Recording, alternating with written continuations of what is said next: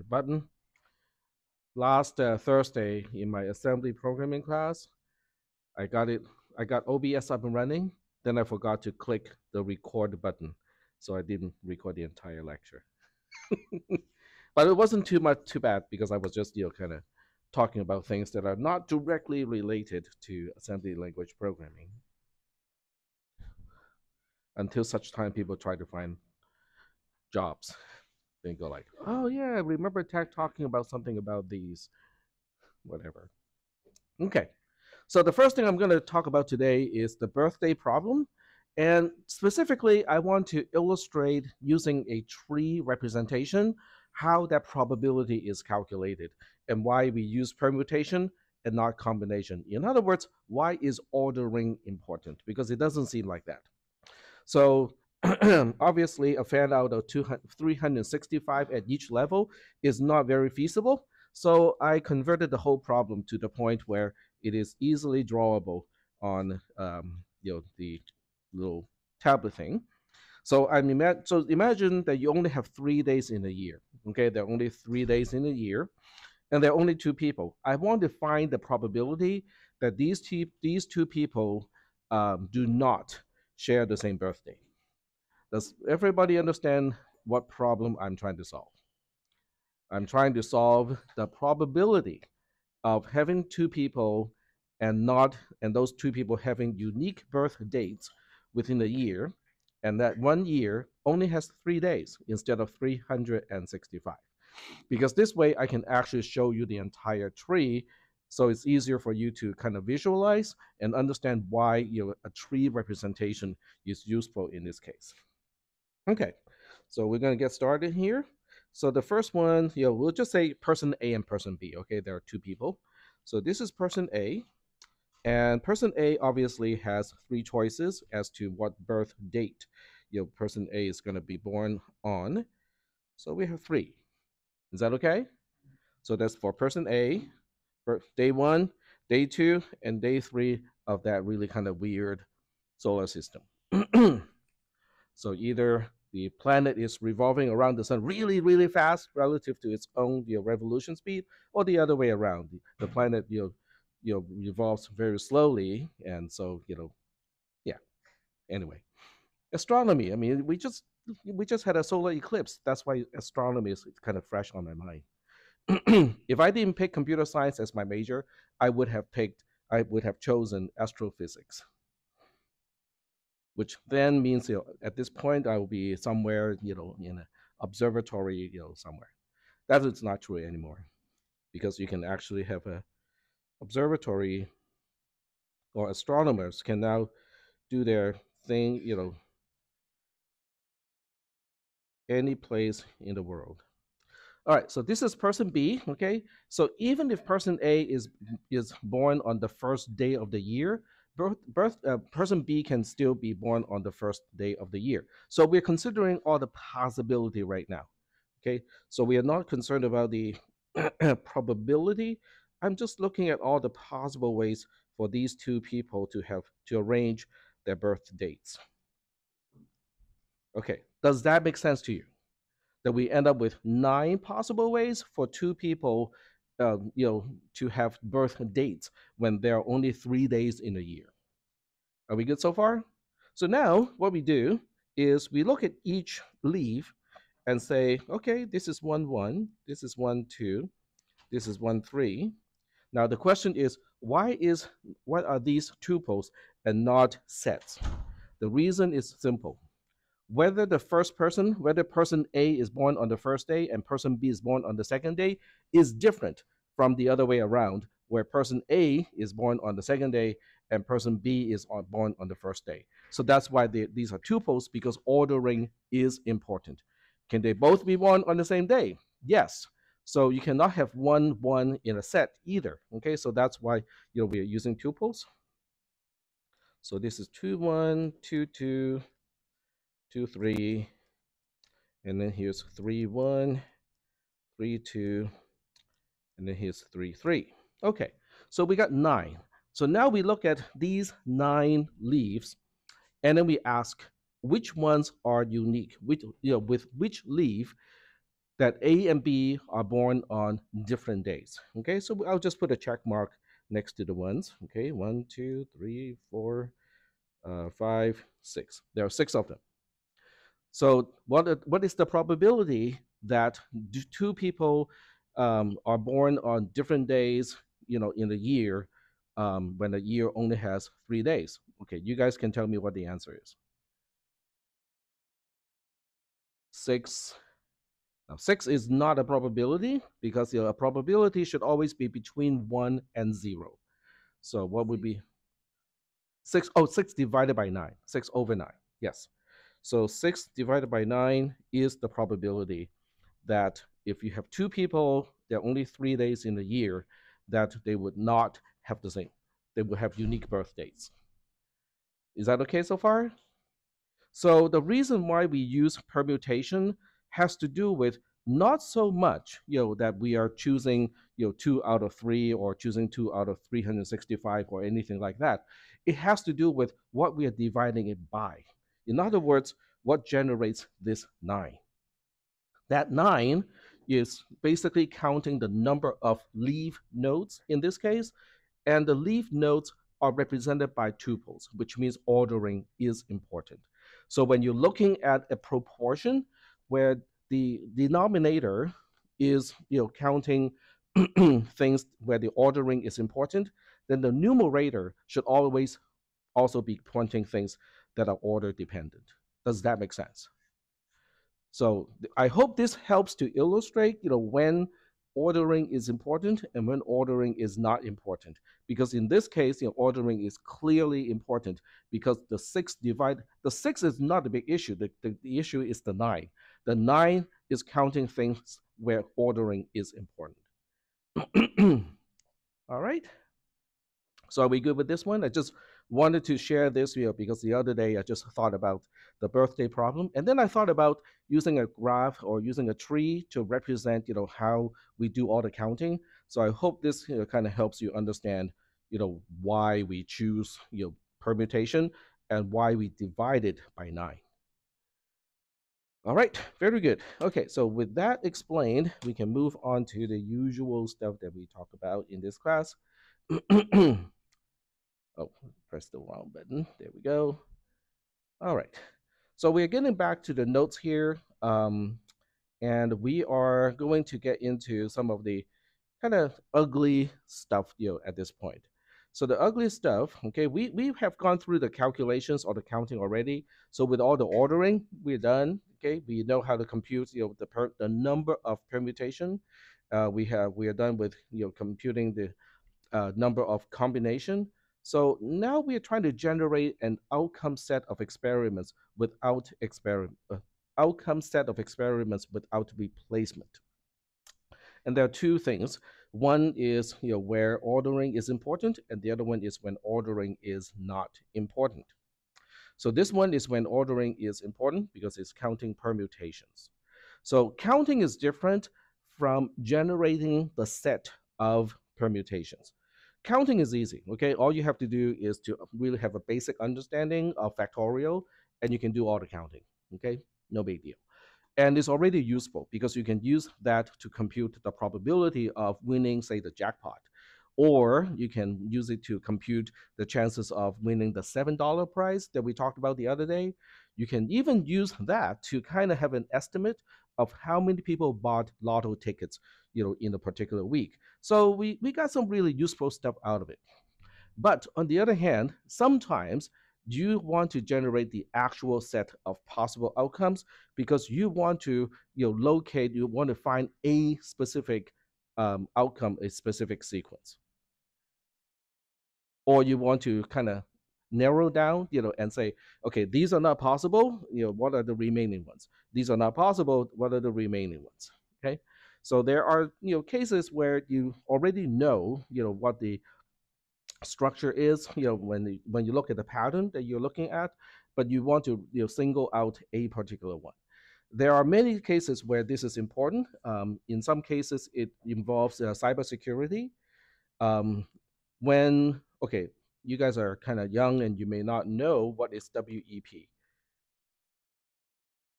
So I'm just going to show you this. You know, WEP is called wired, it's the abbreviation of wired equivalent privacy, which is before the current standard of you know using uh, Wi-Fi encryption.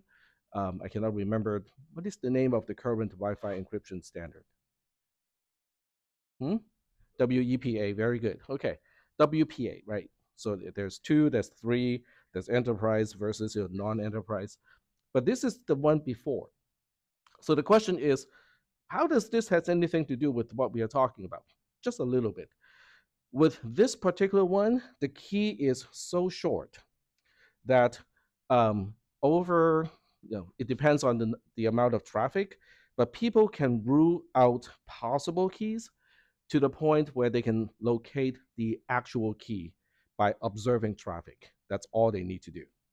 So it depends on how much you use your internet. Let's say you have your Wi-Fi router set up to use WEP, which is definitely not a good idea. Might as well just open it.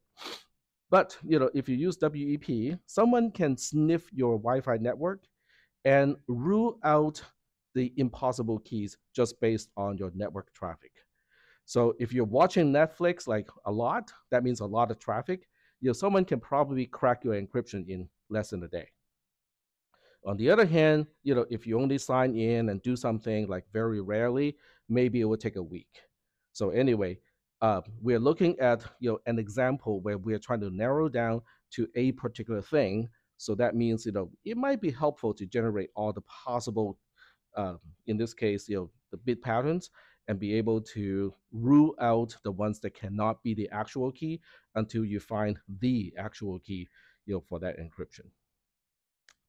So that's just an example of why sometimes we want to keep track of a set of permutations.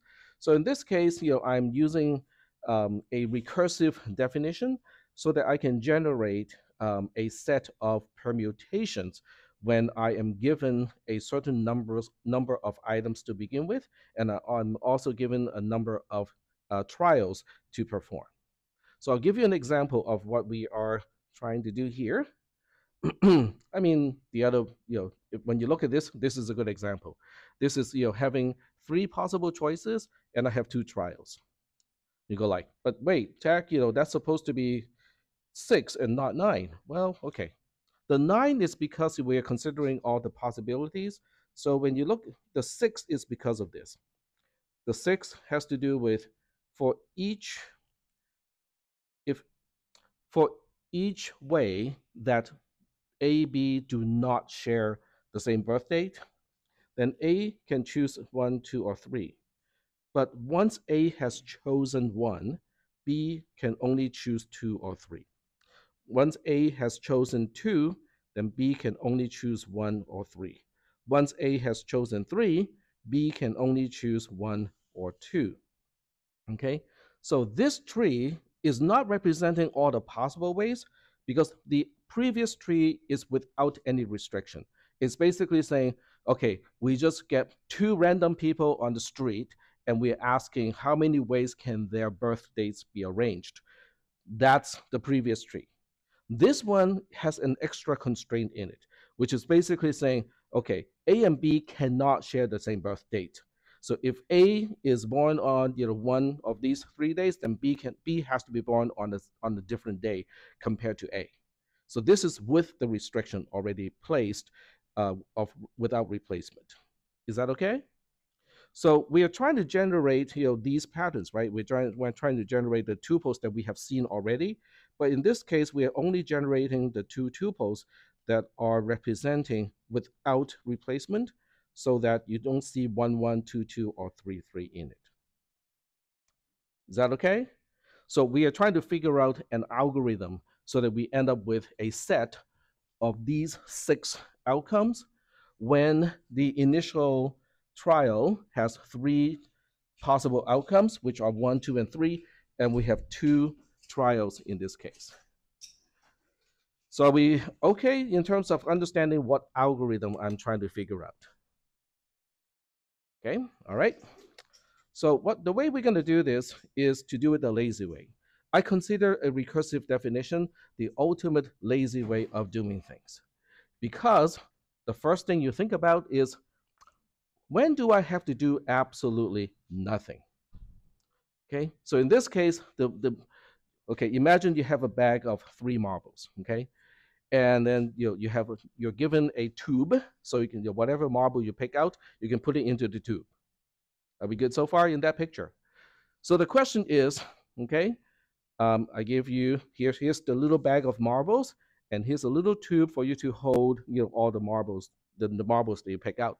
But the instruction is, do not take any marbles out of the bag. How many outcomes do we have?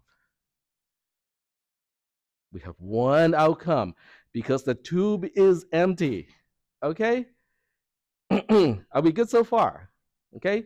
There's one outcome when you are told not to take anything out of the bag and put it into the tube because the tube is empty. Okay, so the question is, how do we represent that? So in this case, it is represented by this. So before we go any further, it is probably a good idea to talk about the notation.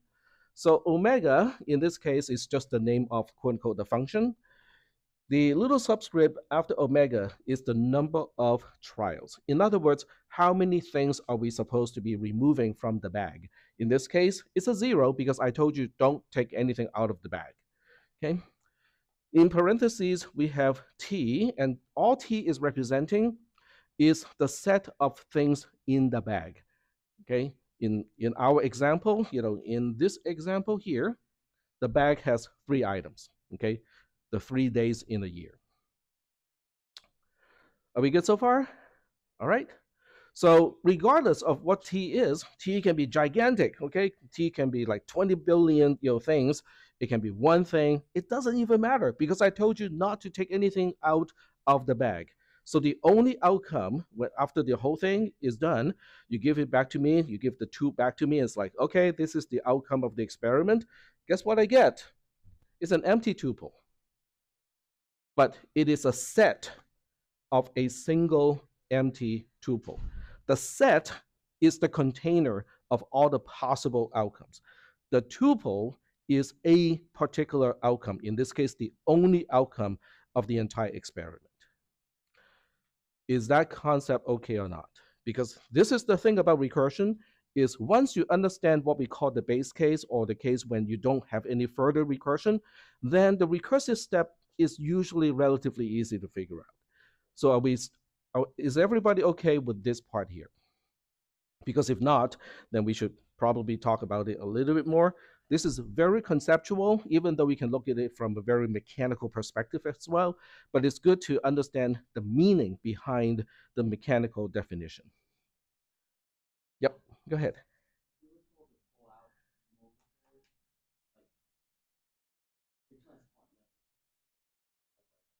Yep. Correct.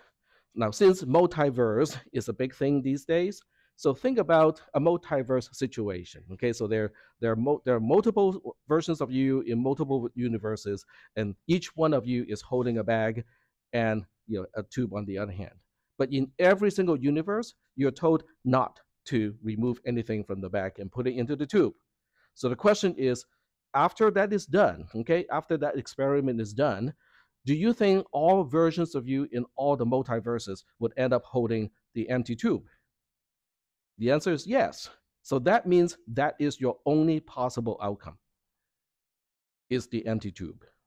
But it is still a outcome, so that's why the set itself is not empty. It contains one single element. That one single element is a tuple, and that is empty. Is that okay? All right, so now let's think about recursion, recursive definition. So the recursive definition is right here. This is this one is a little bit specialized here because it handles two, but this is the general um, recursive definition. So let's take a closer look at the recursive definition here. So the recursive definition is saying that, okay, we are interested in permutation outcomes as a set. Okay, so uh, where do, what do we start with? We start with T, which is a set of the initial um, outcomes for the first trial. So T is representing the outcome for the initial trial, for trial zero, basically. And then I is representing how many more, how many trials are we dealing with. So typically you want I to be less than or equal to the cardinality of T because you cannot have more trials than there are items you know that you can choose from in the first trial. Does that make sense? Okay. All right. So now we look at this and go like, okay, so how do we that how do we figure that out? So this notation, forget about this part here, okay, whatever is to the right-hand side of the big U, forget that part. Let's take a look at the big U notation. The big U notation means, you know, we are having some kind of generator expression, um, and for each element of T, we generate a particular set. So that means, you know, I'm going to have a gigantic union of a bunch of sets generated by this expression. And then what do I do with all of those sets? Union them together. So this is one of the big notations that we have talked about before. It just looks kind of ugly. Is that okay? So what you want to know is, oh, so that, so from what we are looking at here, if I choose element E, then E is going to put into its own set, and then we have a Cartesian product with blah, blah, blah, okay? So don't worry about that blah, blah, blah yet, okay? You focus on what am I doing at this level? I take each element out of T, and I say, what if this is the thing, the marble that I took out of the, the, the bag and put it into the tube? Okay? Then what's going to happen? So now the rest is basically, you know, okay, if you take E out of the bag at this level, then what is left to do is going to have one fewer trials. Does that make sense? Does everybody understand why there's an I minus one here? Because I just took, uh, you know, I just, you know, take care of one trial. So let's, okay, let's use examples. You're told that you have to uh, find all the permutation outcomes of choosing five marbles out, out of the bag and the bag has 20, okay? So your responsibility with this is to say, okay, let me imagine that I'm taking marble zero out of the bag and then marble one out of the bag, marble two out of the bag, out to, out of, out to marble 19 out of the bag. But for each marble that I take out of the bag, I'm gonna go like, okay, but what about the other four things that I have to put in the tube? And go like, well, I'm gonna give this problem to someone else. You. So I'm giving you this sub problem here. I, I, I just took one marble out of the bag. So here's your bag with 19 marbles in it. So go ahead and figure out all the possible ways to pick four marbles out of 19 where ordering is important. And Get back to me when you're done. so what am I going to do? I'm just going to twiddle my thumbs and go like, wait, wait, wait. So when you come back and say, okay, given those 19 marbles in the bag, and my responsibility is to find out, you know, how many ways or you know, the different ways to choose four marbles out of 19 without replacement and ordering is important. This, this is the gigantic set that I get. Okay, so you give me a set back. I look at that and go like, cool. I'm just going to add my marble and do a Cartesian product with everything that you gave me. So that becomes, so this becomes uh, a set of five tuples because you gave me back a set of four tuples and I'm just doing a, a Cartesian product with a single element that I have chosen, you know, for my part of the experiment. So now this becomes, this entire thing becomes a set of five tuples. But that's only one of 20 ways to choose the first marble, right? So I have to reconsider, but what if I choose the other marble, you know, as my first marble? Then I give you a different problem and then you give me a whole set, a whole big set of four tuples, and I do the Cartesian product and so on. Does that, is that working or not? Okay. So the definition is actually very simple. Okay, you know, in in in terms of mechanism, it is very simple. So we'll I'll go through the mechanism one more time and see if you guys understand each mechanism itself. It's the combination of the mechanism and how it relates to the concept that we are talking about. That part may take some time to absorb. So first of all, do we know the big U notation? Okay, just consider this your parenthesize your expression as something that returns a set depending on E. Okay, so is that notation understood? I, I can give you a simplified example just so that you know people can visualize a little bit more easily. So, um, okay, I have to switch to the Supernote. There we go. So I'm going to give you a very, very specific example here. So we'll just say, you know, in this particular set, we have A, B, and C in it. Okay. And, you know, um, and this is some kind of function that depends on E. Okay. So don't even ask me what f is. All I need to tell you is f returns a set depending on e. That's all I need to tell you. So the big U notation basically ends up with f of a union f of b union f of c. That's all it does. Are we doing okay so far with the concept of the big U notation? It is an extension of the sigma notation ish. Are we good so far? All right. So with that notation explained, okay, so our focus can now be based, you know, just be on the expression that is parenthesized. So as I said a little bit earlier, the parenthesized expression, the first part is what I choose at this level, at this point of the experiment. This is me subcontracting the rest of the experiment to someone else. So that someone else will give me all the possible outcomes, all the permutations. When that person is told to say, okay, here's the bag, but don't include E because E is something that I have chosen, that I have put, that I'm going to put into the test, into the tube.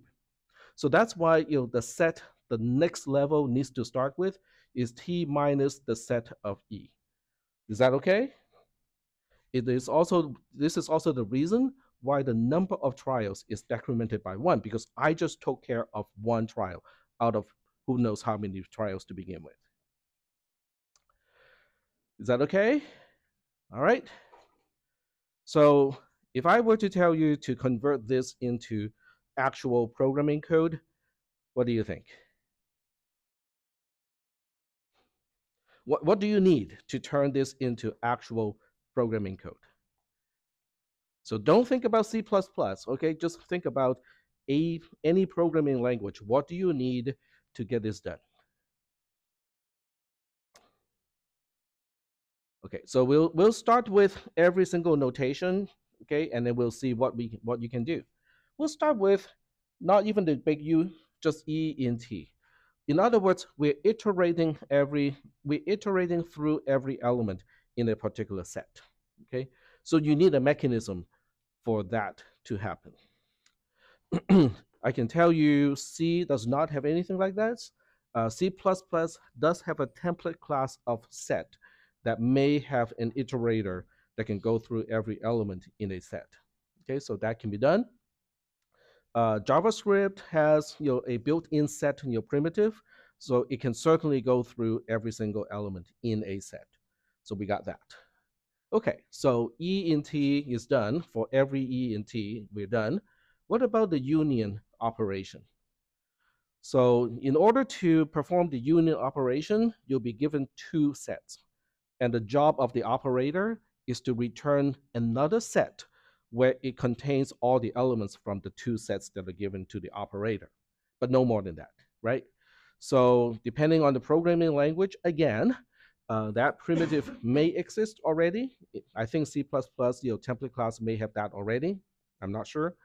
Um, JavaScript just added you know, union as a new primitive of their set implementation. Um, in fact, I can show you that because it is useful. So uh, if you go to JavaScript or ECMAScript, that's the actual name of the programming language. JavaScript is the name when it is applied to client-side programming. But you know, I'm nitpick, nitpicking a little bit here. Uh, so if you just look up this and go to the Mozilla uh, documentation, then you will find all the ways they can do all the operations they can perform. You can see intersection and also union. And these are new. So if I click on it, you can see that these are new. And that's why it is only of limited availability. In other words, not all browsers have supported this particular feature yet. Um, so you can see Chrome has it, Firefox doesn't have it, and Edge does not have it, which is kind of interesting because Edge is actually based on the Chrome engine. Um, this is Safari. Safari has it too. So um, I'm not sure how many, how many of you will be writing scripts on the client side. This is important stuff, okay? Because you have to look at the compatibility with all the browsers and also how long have this feature been supported. So this is kind of cool, um, cool in the, from the perspective that I don't have to implement my own union function anymore, uh, which I have done like for a few years. Is that okay so far? Okay. So the next thing that is important, just looking at this screen, is do you think you know set operations is actually are actually useful in quote unquote normal programming? Because if it's not, why do you think they would waste the time to implement this as part of the prototype of a set in JavaScript or Node in general? Does that make sense to you? Okay, so I'm hoping that this also kind of helps you to understand set operations are actually very useful and important operations, even though in all your other programming classes, I guess including 430, they seldom or do not ever use your set operations. They use something instead of set operations. Sometimes they would use an array or stack or queue in place of set operations. But in many situations, you know, the intention was to use a set operation if possible, but then they use you know something else, you know, because you know set is not primitive. It's not a primitive uh, type to most programming languages. All right, cool. Okay, so let's go back to here. Um, so we took care of the union operation. We took care of iterating every single element out of um, a particular set. So now the next question is the Cartesian product. So given you know our understanding of the Cartesian product, if there's no such primitive, but I give you union, I give you all the other you know, primitives with your sets, do you think you can implement the Cartesian product operator? Yeah. What about tuples? Do you think uh, we can implement tuples? Because if you look up programming language constructs, no programming language actually says, oh, here is tuple. We support you know, tuples. So instead of mentioning tuples, what, the, what kind of keywords or types do you think they mention instead? An array, okay, and in some other languages, an array is also called hmm, a vector, a list, okay? So all of those things are basically tuples. Tuple is just a fancy word that mathematicians like to use.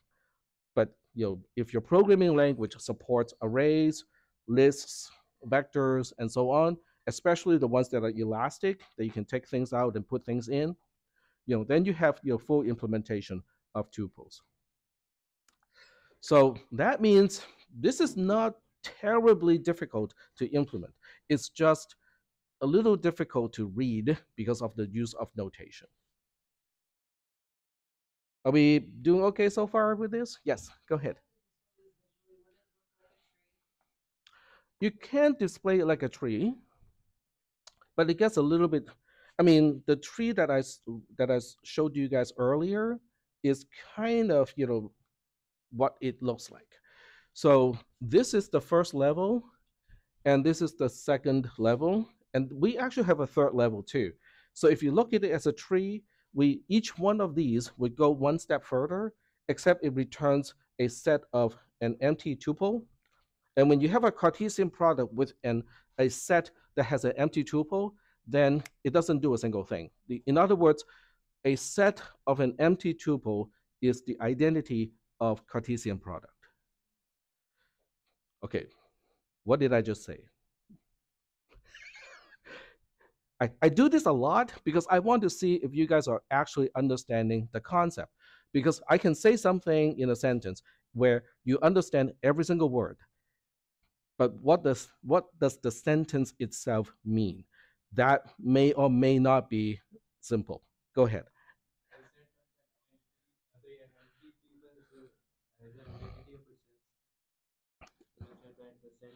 the set of an empty tuple is an identity of itself. You can identity applies to operators. So in this case, it applies it applies to Cartesian product as a, as an operator. Okay, so okay, so looks like you know we can use a little bit of explanation. So this one, these concepts are not uh, specific to CISP 440.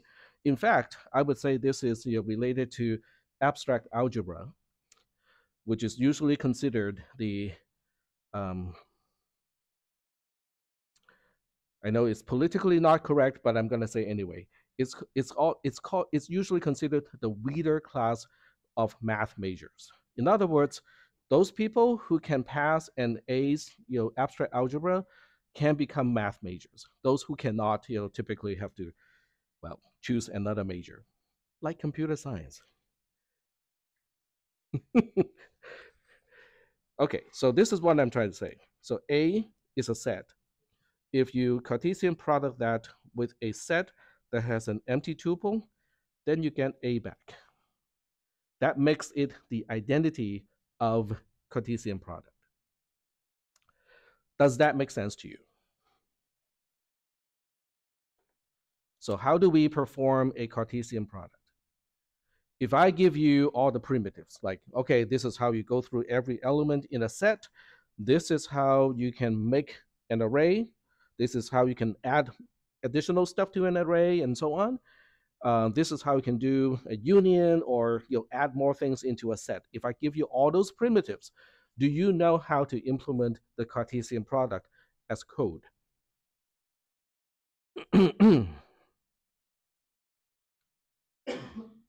Yes, no, maybe. I hope the answer is yes. No? Okay. I can show you the actual JavaScript code to do Cartesian product because it, once you get that code and you look at this expression here, you know, of why I think the set of an empty tuple is the identity of Cartesian product, I think it will help you make a better connection. So let me go to a prompt. And I'll just you know, use JavaScript interactively. Okay, there we go. Maybe, maybe not. I'm thinking. Mm, maybe not interactively. Okay. So I'm gonna look at cast.js, you know, typical extension for a JavaScript program.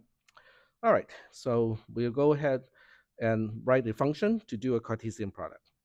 So function Cartesian product, okay, and we have two parameters. Uh, a is a set, B is also a set. So the question is, how do we come up with the answer, okay?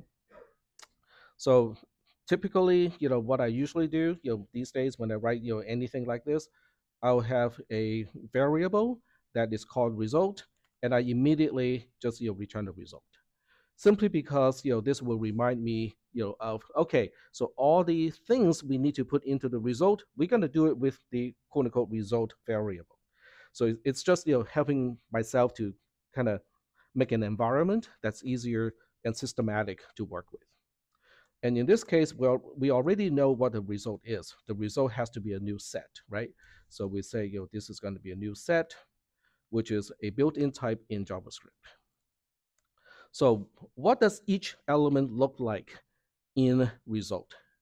Result is a set, we know that. But the question is, how do we construct elements of result? Well, result is technically the Cartesian product of set A and set B. Yes, so how do we construct that?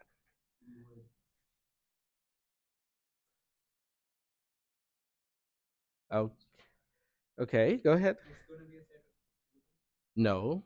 But result is a set of tuples. But the question is, how do we construct each element of result? So when, when we look at one single element of result, what should it look like? Yes, very good. Okay, so the first part would be an element from A, and then the second part would be an element from B. Very good.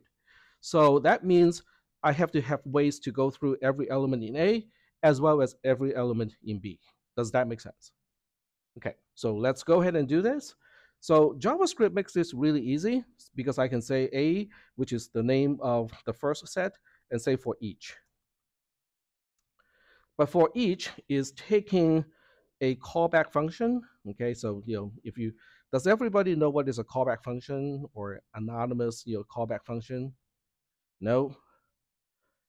They haven't really talked about this in 400 or 430. Okay, but I'm just gonna write this code anyway, you know. Um, so I will name the variables a little bit more um, so that it's more self-documenting. So a callback function is a function that can be called from something else. You, you're basically passing a function as a parameter. Is that concept talked about in 400 or 430? Passing a function as a parameter to either a method or another function. Okay, so I see some nod and some some you know shaking. So I'm not sure exactly why. Maybe you guys took your 400 or 430 from different people. That's so I'm writing a function right now. This is really just a shorthand of a function where the parameter is element from A. Okay, that's the name of the parameter. And this is a shorthand to define an anonymous function because it's, the, the function is anonymous because I don't need it anywhere else. The only time I need to assign a name to a function is I have to reference it from multiple places. But if the function only goes to one particular place and no one else needs to know it, I don't need a name for that. Okay, I can just create a function, use it right away, and never to have to name it, you know, for anything, for anyone. Okay, so now I have to inside this loop here. Okay, so for each, you can look at it as a as a loop. Okay, it's, it's just a syntactically weird looking loop in this case. Um, oh, I, I think there's a better way to say this. That it's much more friendly to people who know C and C++. So let's just use a loop here. So we'll say for let element of A. Now I have to remember is it of or in. Okay, I'm gonna cheat and look up a JavaScript iterates through set. Okay, that's for each, but I need a for loop. Okay, there we go. Stack Overflow. Mm. Okay, it's, it's for of. Okay, there we go. Okay, so. Okay, is that clear? That this is a loop. Um, the loop, the iterating variable element of A is going to assume a particular element of A for each iteration. Is that okay? All right, okay. And we can actually build this program step by step because I do want to illustrate what this how this program works. So we'll go ahead and say car, and then we'll give it a set, uh, new set. Um, okay, and new set. Okay, so I'm giving it two sets you know, where you know the first one is only the first one is being induced right now, and I'll have a console.log uh, element of A. Console.log is kind of like your cout. Okay, this is a quick, quick and easy way to print something. Okay, So this is my current program and node cas.js. Okay, it just goes through every single element of the first parameter to the Cartesian product you know, um, program. Okay. All right, so now we get back here. We have just confirmed that you know this will give me um, every element of A for each iteration. So I need a similar mechanism now to say for an let element of B of B. It's kind of redundant, but you know it's okay. So now we say um, console console.log. I'm going to use a backtick here, you know, because it's a cheap and easy way to basically format the output. So I can say um,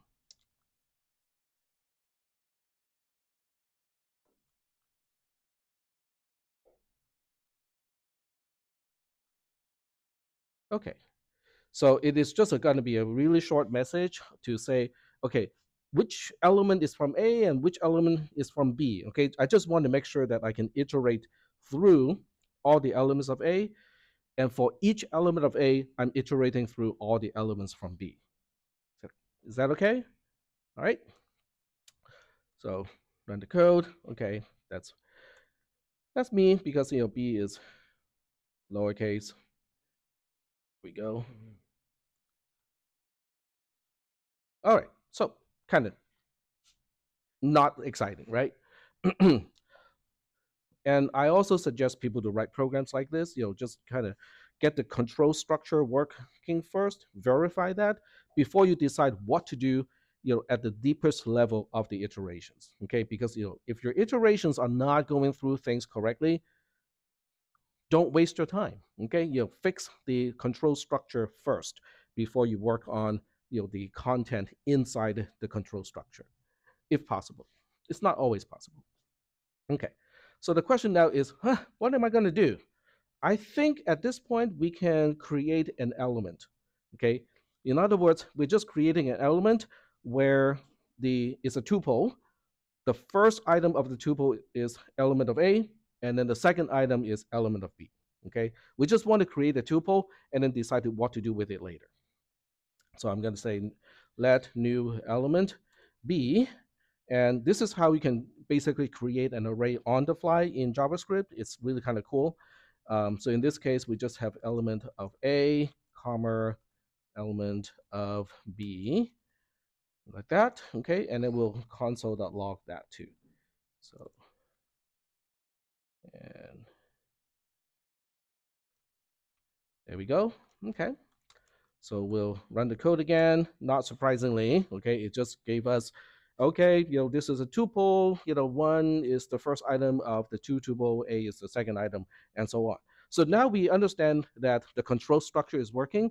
Each iteration of the nested loop is also generating, you know, the right element as far as we can see, we can tell.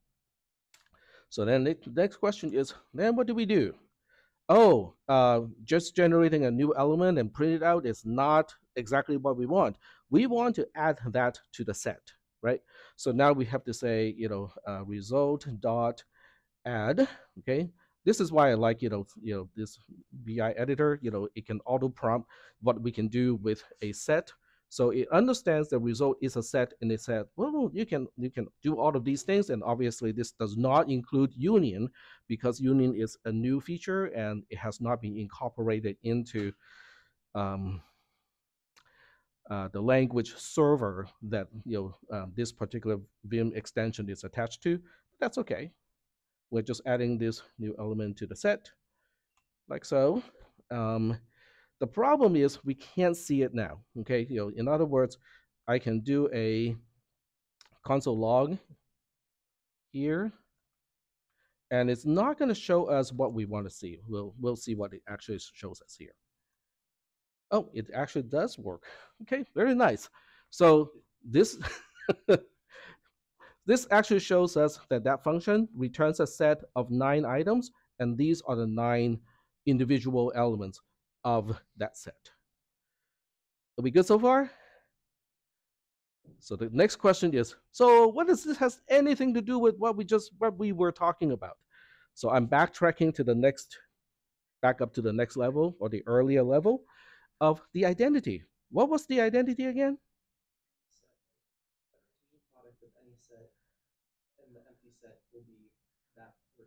Correct. Yep. Very good. Okay, so here go. So the first time is not gonna, it does not seem like it's working. I have to make a little bit of an adjustment to make it work. So I'm creating an empty tuple here. Okay, so the second set of the operator is now an empty tuple. So you, you're gonna look at this and go like, but Tak, that's not what we're looking at. Okay, well, that's exactly wrong because oh okay i know why because i need double brackets here. The first bracket okay this is now the new operator or the constructor is taking an array to say okay whatever is in the array should be elements in the set. So when i gave it initially an empty tuple or empty array then it goes like, oh, you want to create a set that has no elements, the empty set, right? So nope, that's not what I want. I want the empty tuple to be the only element of the set. So this would be the proper way to do that. Okay, do again. You go like, but Tak, this is not the original set. Okay, we end up with you know the second item being the empty tuple, the empty tuple, and the empty tuple. So now you know there are two ways to interpret the Cartesian product. One is it flattens the tuples. In other words, if A contributes a tuple and B contributes a tuple, then we just make a tuple by flattening the two tuples and connecting them together. We do a concatenation. The other way to look at this is exactly what we did here, which means you, know, you can have a two tuple where each item of the two tuple is itself a tuple as well. So we can do the flattening, but the flattening is going to be a little bit longer to explain, so I'm not going to do that. But you can kind of imagine that if we flatten and say, oh, if you flatten an empty tuple, it just becomes nothing, then this becomes just a tuple of one, a tuple of two, and a tuple of three. So that's why it is, um, yeah. Is the flattening you're mentioning the um, space folding thing that we were doing, or Not not nearly as complicated as that. Yep. It's basically just looking at um, okay. Let let me just add the condition here so that this program is complete. it has to do with how we construct the new element. So um, right. So now I can okay. If you guys really want to see this, you know, I can. I, I'll, I'll put it like this. Okay. The first thing we need to know is whether element of A is itself a tuple. Because if itself is a tuple, then we have to do some flattening. Otherwise, we just take, okay, whatever element of A is, we just stash it there. Okay, so, hmm. Okay, we have to break this up into a few operations, unfortunately.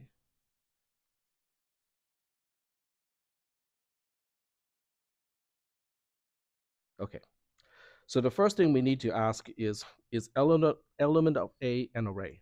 And the way to answer that question is array dot is array, whatever you want to find out whether it's an array or not. if it is, then we flatten it. So to flatten something, you put dot dot dot and then element of A. Otherwise, we are not flattening, so we just need element of A itself. So this is how we flatten out A as an element. So now we, we need to do it to element of B. So element of B is supposed to be um, um, added on top of this. So now we need to use a conditional statement because otherwise, if it's empty, then we are not really adding anything. So now you have to say if array is array element of B, then we do the flattening. And the flattening part is actually a little bit more complicated now because if uh, element of B has no element, then we simply ignore this whole thing. We, we're not attaching anything to the new tuple. So we have to say if element of B length is not zero, is if it's greater than zero, then we push that. So now we Yes. Hmm. And new element becomes whatever new element has, and also everything in element of B. Otherwise, we just push it. So otherwise else, um, new element dot push. Uh, what is it again? Push element of B because it's not a tuple.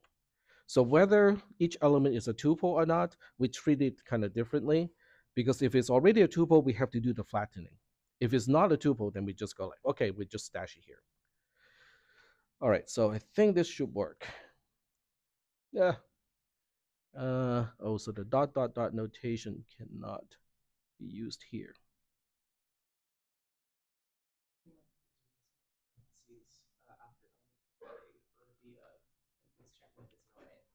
Um, element of A is grayed out too. For the check for that, Mm-hmm. the um, ternary operator, I think there should be another parentheses there. Here, but it's not complaining about that. No, before the um. In the array dot is array element of A, there should be a parentheses around uh at the end as well. There should be an end parentheses there, another one. You mean here? No, no, no, no. At that array is array check. I think it might be um it's trying to find another end parentheses after that. Mm.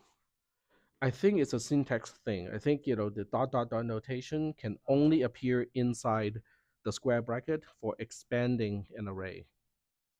So it cannot be contained, you know, and become its own expression. Yeah. Okay. So anyway, but that's the general idea. Is that okay or not? Because in in this case, okay, because of the way we chose um, to uh, create that we chose to do this, so we already know the element of A cannot be an array. So I really technically do not need to take care of this case and just do it like this. Okay, but that's kind of quick and dirty. it's not complete. The solution is not universal. Okay, but does that help to illustrate the concept that the set of an empty tuple can be considered as a as the identity of the Cartesian product operator? Okay. All right. Then what about the empty set? We talked about this already when we talked about Cartesian product. So when you make a Cartesian product on either side is an empty set, what do we get? We actually just saw that earlier today too. Hmm? Yep, you just get back an empty set. That's right. So it's kind of like if you look at Cartesian product as multiplication, the empty set is kind of like doing the zero. But the set that contains an empty tuple is doing the one. One is the identity, the other one just annihilates. Yep. All right. So getting back to, so now we have to backtrack like several levels to get back to the module that we were on. I think it's this one here. There we go. So given you know JavaScript has a lot of set operations and the newer ones even have union, that means you know well, this one is not too difficult to translate into code. And I think that's also one thing I want to, you know, this is a point that I really need to make for this class is I'm not teaching you guys just math that you will never ever use again, which you have to take, you know, to get your degree. there are many math classes that many of you probably will not use ever again after you pass that class. I can say that with confidence because just like you, I was a computer science major and there are quite a few math classes where you know the stuff that I learned from those math classes, I never had to use them ever again, other than just passing that class. But this is different, okay? When do you see, when do you think you can see, you would see notations like these? And your job is to say, okay, convert that into code. We, we want a program to run and use that definition.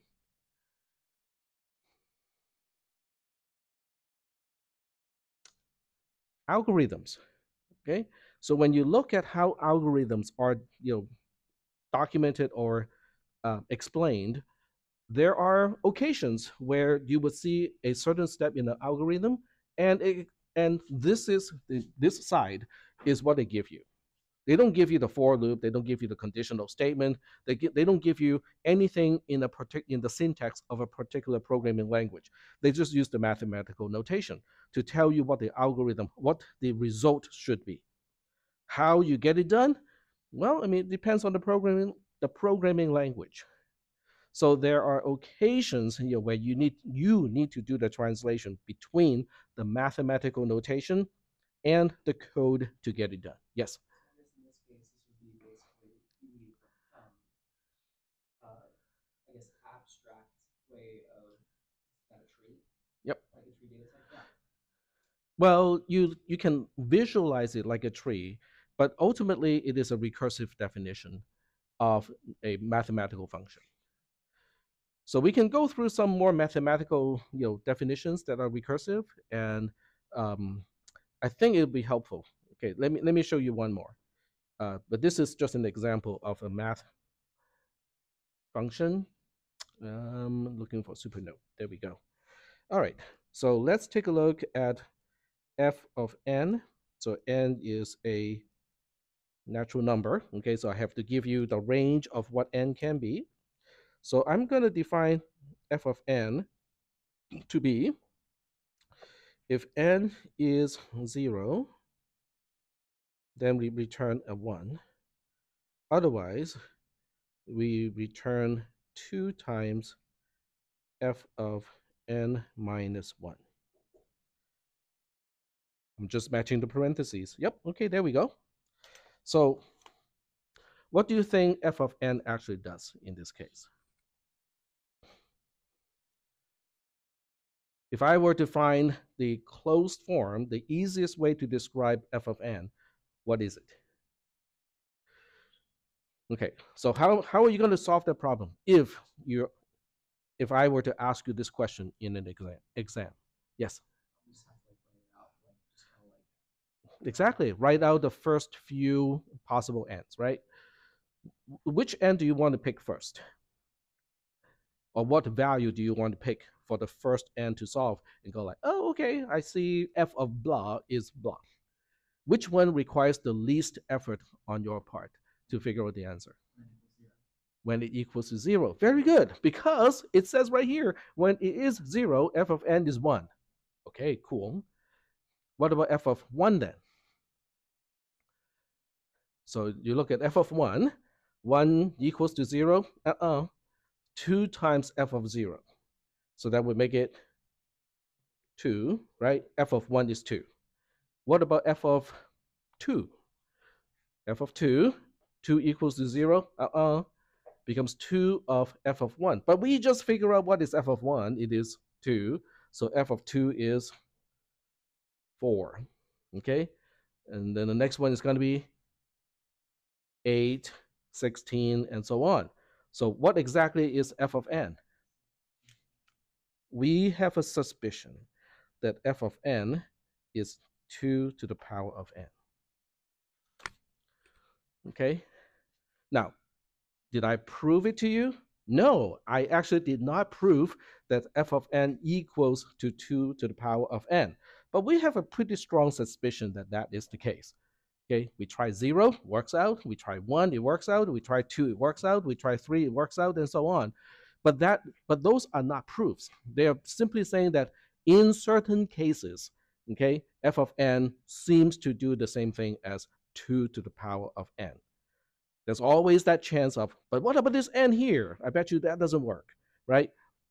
So we will get to proof by induction in this class, where we can re-examine something like this but then we have the formal way to prove it.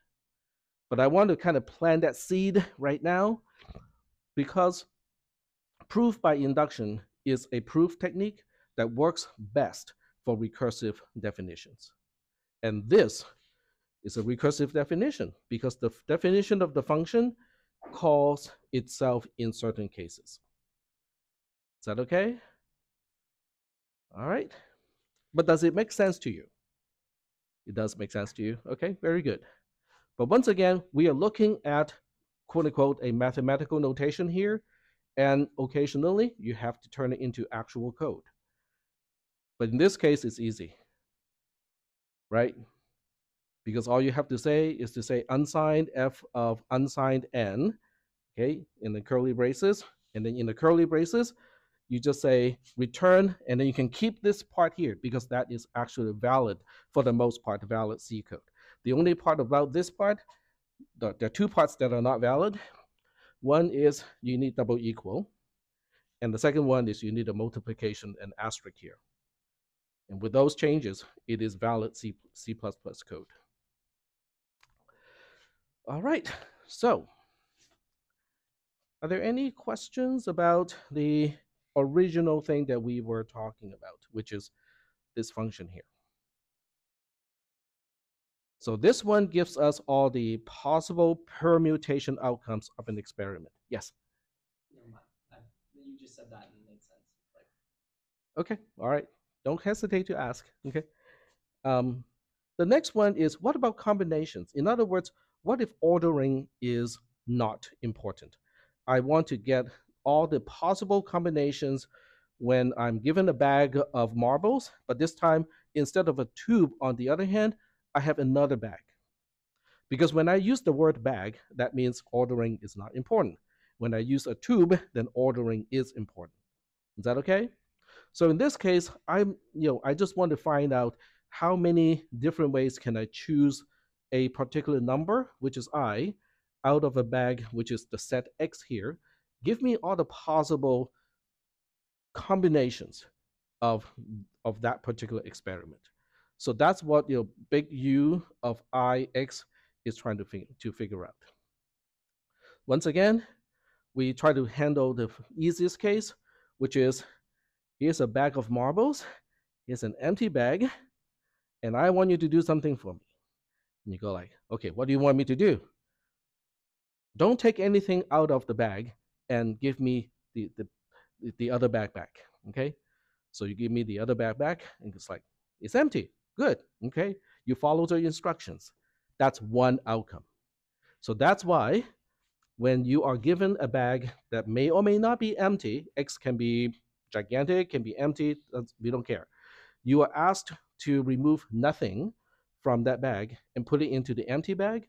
What is what are the possibilities? What is the set of possible outcomes? It has one single outcome, which is you give me the empty bag back.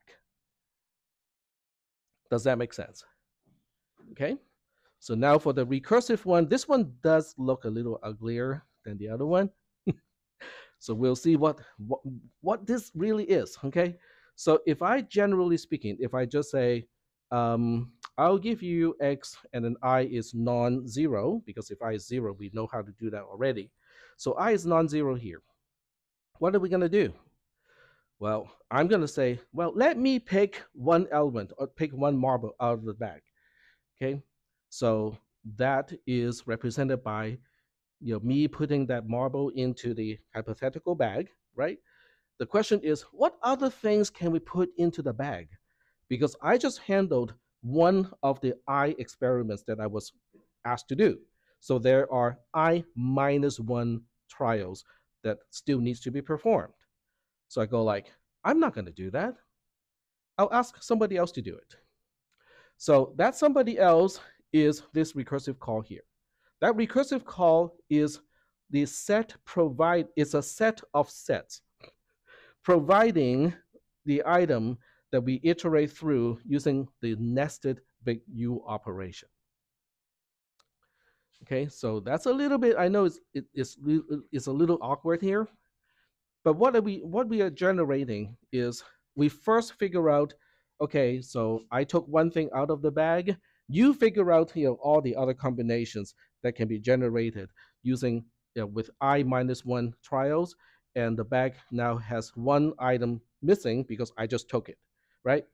So this part here, okay, this part here is giving us you know the set of all the combinations with ele element E missing from the bag and there are only i minus one trials. Is that okay? So now I go like, okay, but for each possible outcome like that, wait, I, I need to include mine, the one that I chose a little bit earlier. Let's include that one, you know, but the only way I can do include is a union in this case. So when you look at this entire thing from here to here, each one, you know, for each element E, this thing from here all the way to here is giving us all the combinations of if I choose E to begin with, then what combinations are possible with the remaining trials of the experiment? And I just have to iterate all the possible elements in the bag at my level, union all of those things together, then I get you know, the actual outcome. So mathematically speaking, this will work. But practically speaking, this is actually uh, wasting a lot of time because there will be a lot of identical sets and there will be a lot of overlapping between the unions. So it is actually very time consuming, unnecessarily time consuming in this case. But mathematically speaking, it does get the job done. All right. So I think one thing you can do, okay, this is not a homework assignment. However, I do want you guys to kind of go through the motion of following these instructions. So one thing I would kind of suggest people to do for this part of the class is to figure out know, what is omega 2 of a set, oops, of a set that has A, B, and C in it. Okay, just try to figure this out by hand. Okay, using the recursive definition.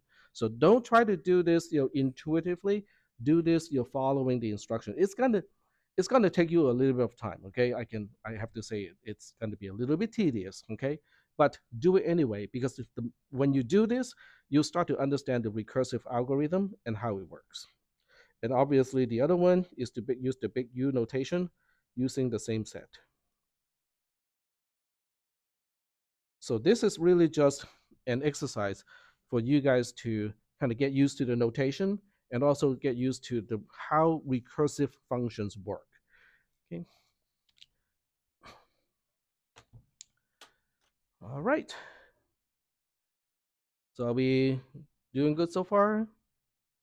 The big omega and the big U notation are the last part of this module.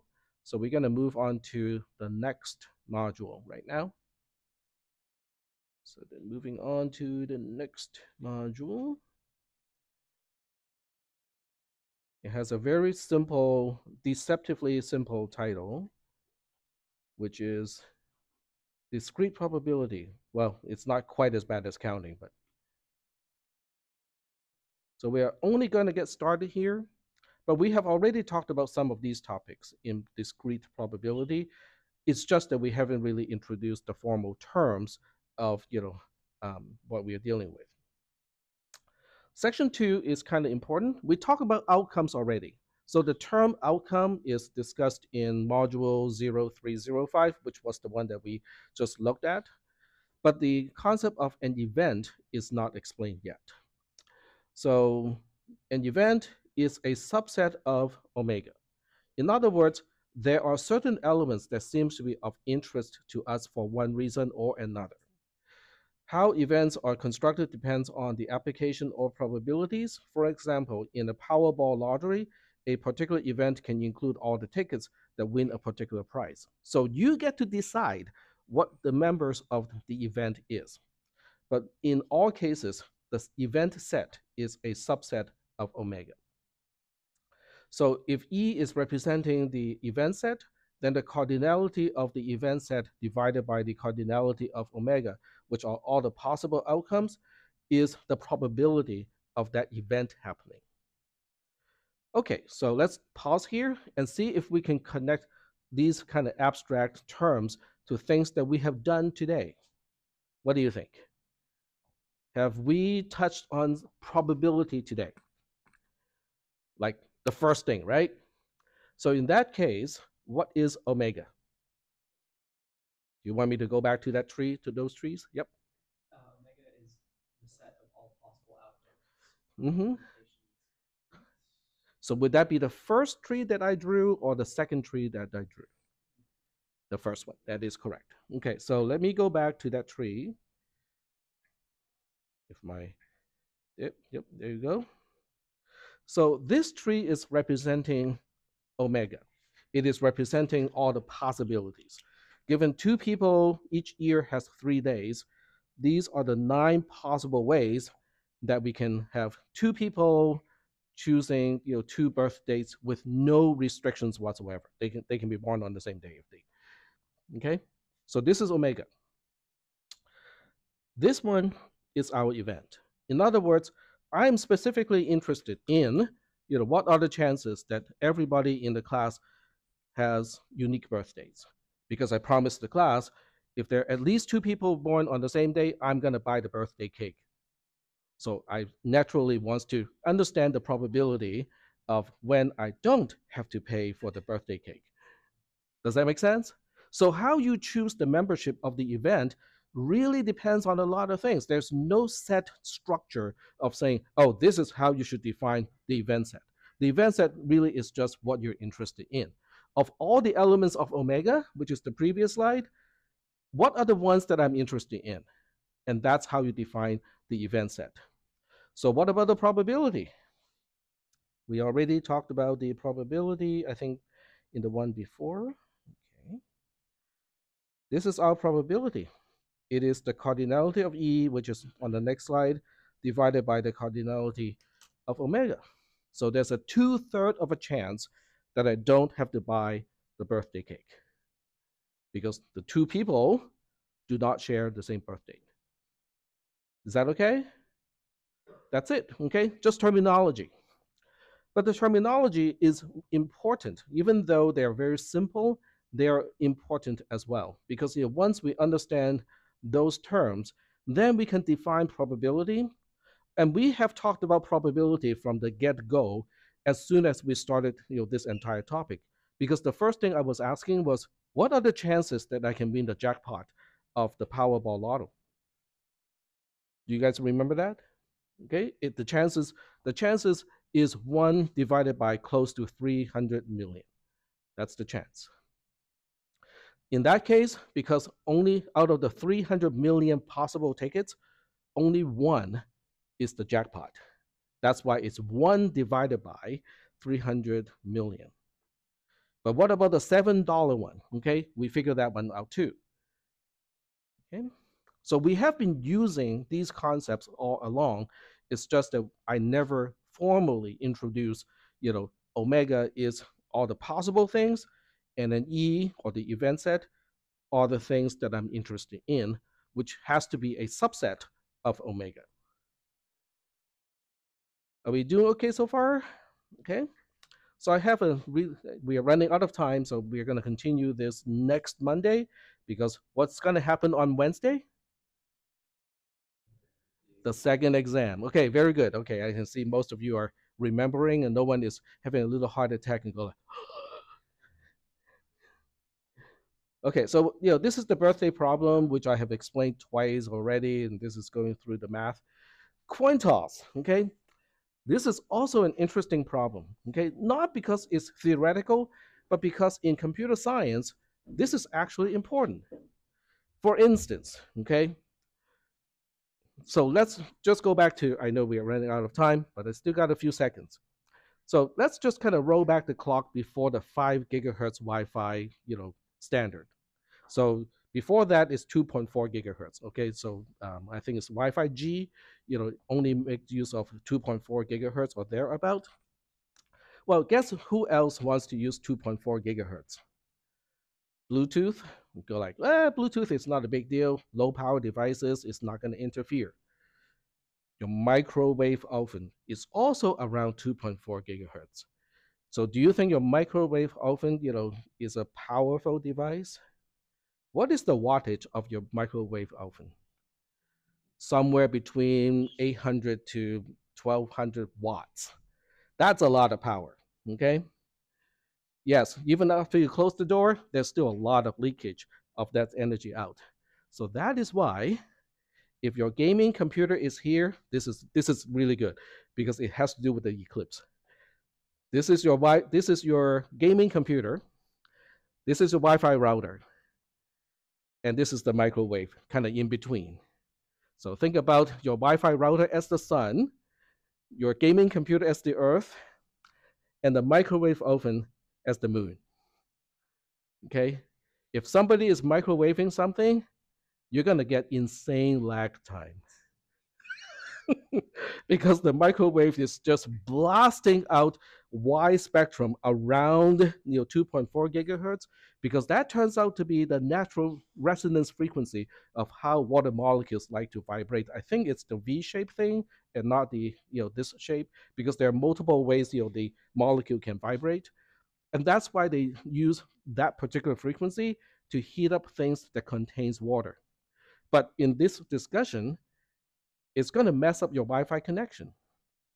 So I think at that point, you probably are interested in knowing what is the probability that a certain size of packet can be transmitted properly over your Wi-Fi network because you want to find out how bad the net the lag time is going to be when you're um, when other people in your household decides I got an entire big soup to heat up. It's going to take the next two minutes. And then during those two minutes, you really want to know, you know how bad your lag time can go because you might just want to forfeit the game. Does anyone have that experience? Or you guys are all studious and never play video games? I have Bluetooth earphones, and when I use the microwave in front of it, and they and they tell us, you know, don't use Bluetooth head, headphones because it's going to fry your brain. Um, even if you wanted to fry your brain with your Bluetooth, think about how much time it takes to charge your Bluetooth headset. Even if you are to short out the battery of your Bluetooth headset, how much heat can it possibly generate? Eh, a little bit, it can burn your finger and so on. Okay. And then think about the water content of your brain. Now, mine is a little small, so it, I guess it can fry like just like that. But most of you have larger brains. Your entire skull is about 10 pounds. It's the, it's the, it's the weight of a bowling ball. Okay? And a lot of that is your brain. so you can kind of imagine if you want to fry your brain, which means bringing up the temperature to the point where you know cells will start to die off, it takes a lot. Okay, so I don't think there's any chance that the Bluetooth your headset can in any way cause problems with your brain. The only problem is what kind of music you're listening to. All right, I'll see you guys on Wednesday. Don't forget it is exam two, so get started with your sheets of paper that you're going to bring with you. Okay, I'll see you all in two days, minus 80 minutes.